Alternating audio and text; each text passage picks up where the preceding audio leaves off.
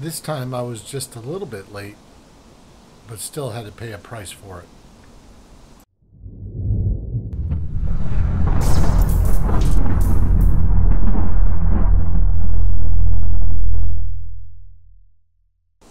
Hey everyone, Silver Steeler here.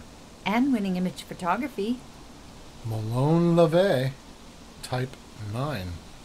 The 2 ounce round from Intaglio Mint. And we actually got this one. Yep, we got it late again. We thought we were going to get it on time. We signed up for an alert on limited mintage. And within five minutes of them giving me uh, an email about it, it was already gone. And we couldn't find it anywhere else. No, so again, I had to find it on the secondary market.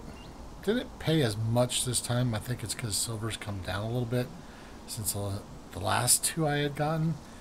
But I'm so glad this series is getting ready to end because the first six I bought relatively cheap, and now the last three, not so cheap.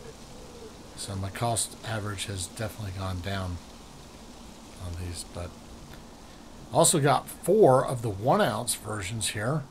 Talking Bullion let me know that Limited Mintage had just a thousand of these to sell. Now I'm not so sure if the mintage overall is a thousand on a one ounce or if that's all they got. I'd find it hard to believe that they would only do a thousand of those. Me too, especially since they probably did more of the two ounce. So, yeah, let me get one of these out here. Since these ones were only in flips, there's still some nice high relief on these. These, of course, are a bunch of Spartans. They're Spartans, aren't they? Well, I, I don't know. They're Greek. They're, they look like Spartans. I think they are. With their shields in a defensive posture. I've seen that in a few movies where they do that. They'll clamber up and put their shields together to form one gigantic shield. Something like that, I guess.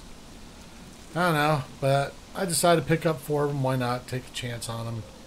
I don't have too many. Actually, it's the only one ounce Molon Labe rounds I've got. All the other ones are in the two ounce versions. Every one of these shields has like a different design on it, and some of them are real intricate, and it's very pretty. It's a very busy round. It's different than the other ones, though. It is. Of course, again, this is ninth in the series of 10 that they plan on releasing for this. So, since they've been costing me a lot more of late, I'm sort of glad that this this series is coming to an end here soon. So we're down along the banks of White River again. We've done all these outside, and we'll continue to do well the last remaining one whenever it comes out, which more than likely will be winter. And I'll be late again. Yeah.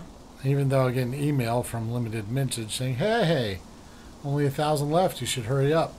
And within five minutes, they're gone. I don't know. It just seems like physical silver has just been that quick. I mean, everyone gobbles them up right away.